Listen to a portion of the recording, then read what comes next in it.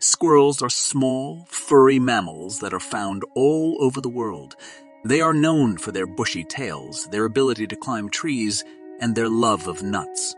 There are over 200 species of squirrels, and they come in a variety of shapes and sizes. The smallest squirrel is the pygmy squirrel, which is only about two inches long. The largest squirrel is the giant forest squirrel, is the giant forest squirrel, which can grow up to three feet long. Squirrels are omnivores, and they eat a variety of foods, including nuts, seeds, fruits, insects, and even small animals. They are very good at storing food for the winter, and they can bury hundreds of nuts in a single day. Squirrels are very active animals, and they are always on the move.